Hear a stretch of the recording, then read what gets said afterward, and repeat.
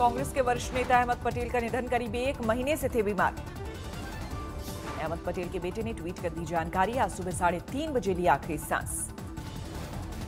अहमद पटेल को एक महीने पहले हुआ था कोरोना, तब से लगातार खराब थी सेहत। इकहत्तर साल के थे अहमद पटेल, गुरुग्राम के मैदानदा अस्पताल में चल रहा था इलाज। अहमद पटेल के निधन पर पीएम मोदी ने जताया दुख, कहा उन्होंने सालों समाज के लिए काम किया। राहुल गांधी ने अहमद पटेल के निधन पर जताया दुख, कहा कांग्रेस के स्तंभ थे, धरोहर थे। प्रियंका गांधी ने अहमद पटेल के निधन पर जताया दुख, ट्वीट कर कहा, वो काफ़ी अनुभवी और जानकार सहकर्मी थे, जिनसे हमेशा सलाह लेती रहती थी। उपराष्ट्रपति वेंकैया नायडू ने जताया दुख, कहा, अहमद पटेल के सभी दलों के नेताओं से थे अच्छे संबंध। बीएसपी सुप्रीमो मायावती ने अहमद पटेल के निधन पर जताई संवेदना, कहा, उन्होंने भारतीय राजनीति में छोड़ी गहरी छाप। अहमद पटेल के निधन से गृह शहर भरूच शोक में डूबा। दिल्ली में बढ़ती सर्दी और प्रदूषण के बीच कोरोना का कहर जारी 24 घंटे में 109 लोगों की मौत।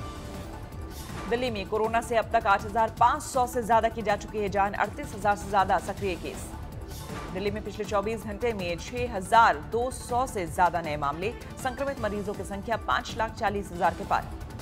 तमाम कोशिशों के बावजूद मास्क का इस्तेमाल नहीं कर रहे हैं लोग। अब तक दिल्ली में पाँच लाख लोगों का किया जा चुका है चालान। कोरोना से बचाव के लिए यूपी सरकार का बड़ा कदम। दिल्ली में काम करने वाले गाजियाबाद के लोगों का शाम को घर लौटते वक्त होगा रैंडम कोविड टेस्ट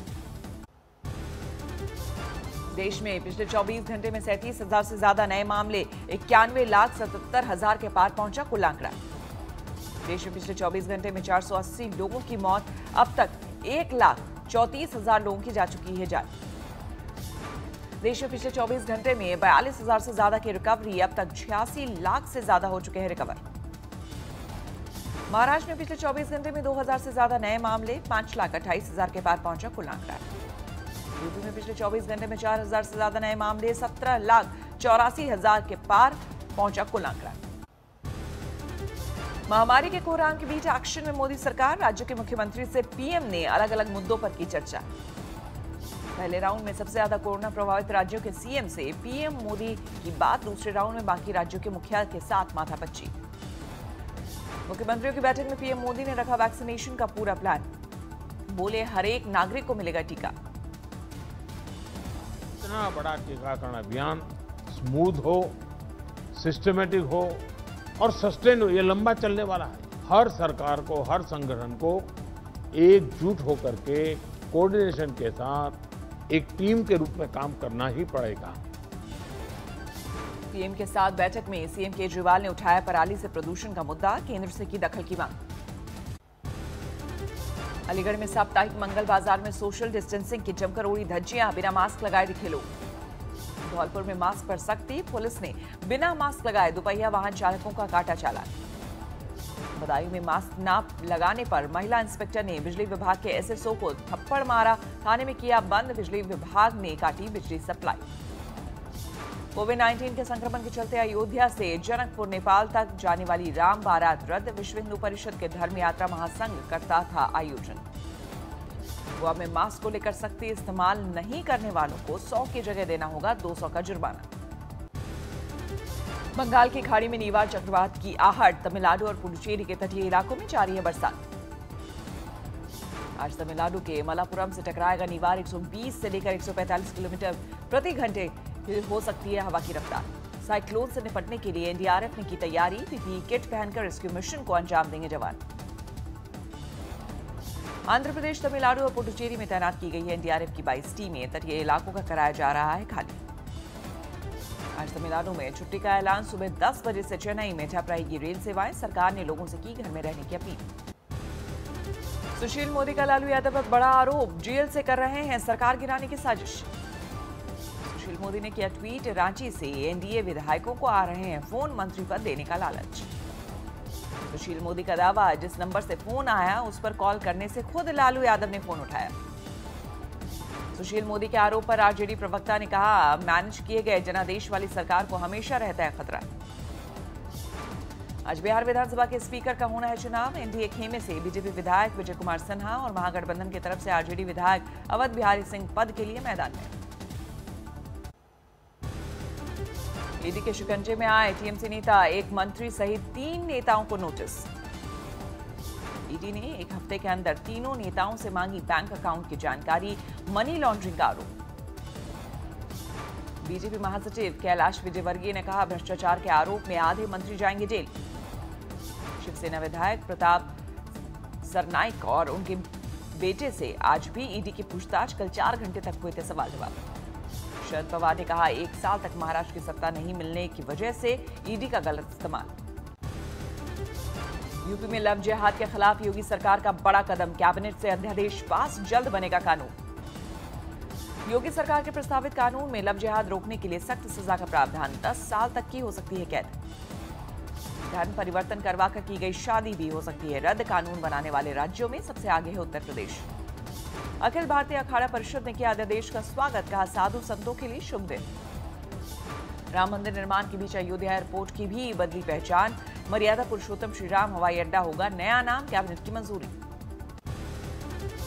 दिल्ली कूच की तैयारी में पंजाब के किसान हरियाणा बॉर्डर तक एडवांस में पहुँचा है सामान। किसानों की दिल्ली कूच को लेकर हरियाणा सरकार के फूले हाथ पाँव, लोकल नेताओं की धरपकड़ शुरू। हरियाणा में किसान नेताओं की गिरफ्तारी से हड़काम फतेहाबाद में धरना प्रदर्शन। छब्बीस नवंबर को दिल्ली कूच करेंगे किसान किसी भी हालत से निपटने के लिए हरियाणा में पुख्ता बंदोबस्त। अमृतसर में रेल पटरी पर डटे हैं किसान। मालगाड़ी के लिए ट्रक से हटे, लेकिन मुसाफिर गाड़ियों को लेकर नाराज़गी।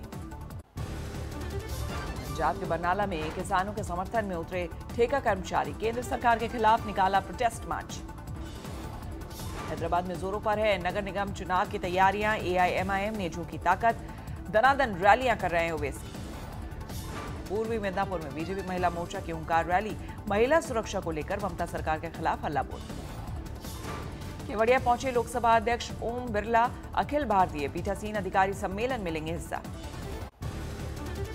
रामपुर में अवैध तमंचे के साथ एक युवक का वीडियो वायरल, पुलिस ने किया गिरफ़्तार।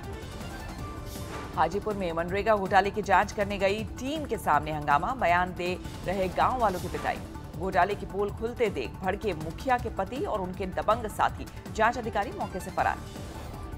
मनरेगा मजदूरों के घर जाकर दबंगों ने पीटा। कोर्ट के आदेश पर जाँच करने आई थी टीम। बरेली में ई रिक्शा चालक की सड़क पर पीट पीट कर हत्या। रिक्शे से टकराने पर भड़के दबंग।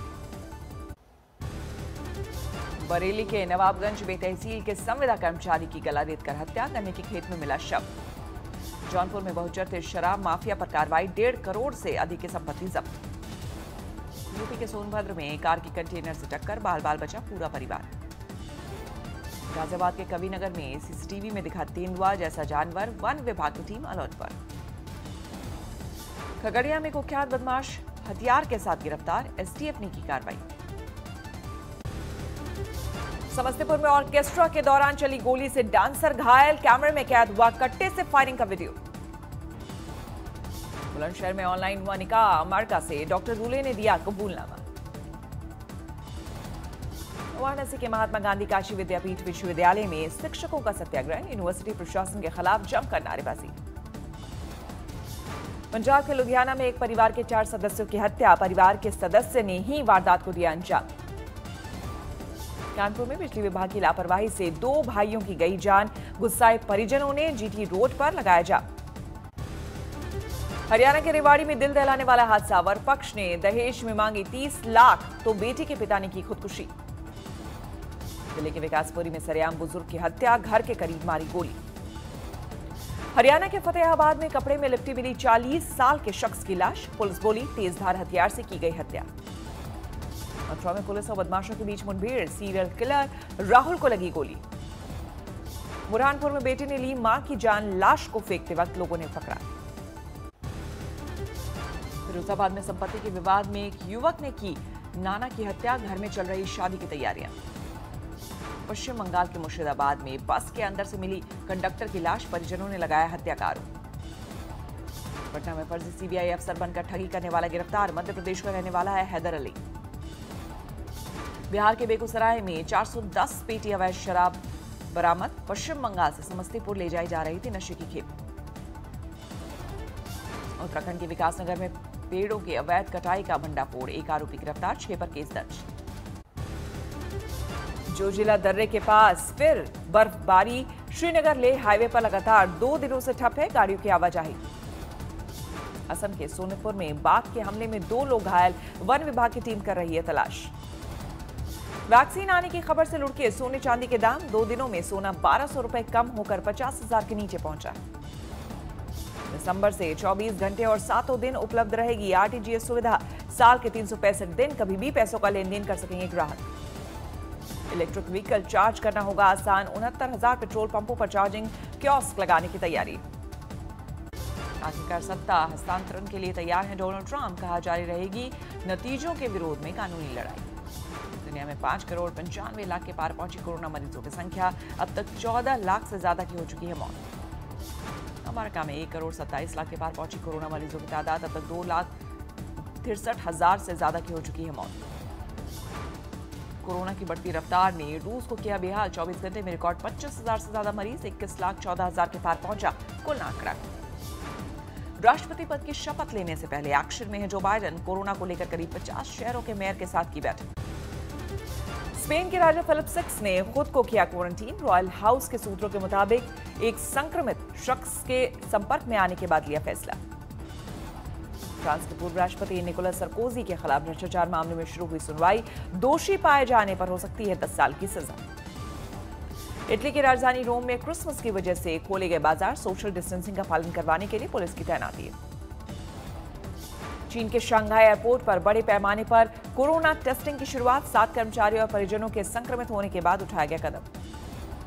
बेकाबू हुए कोरोना महामारी को काबू में करने के लिए वेस्ट बैंक में दो हफ्तों का लॉकडाउन, सुबह सात बजे से शाम छह बजे तक लागू रहेगा कर्फ्यू।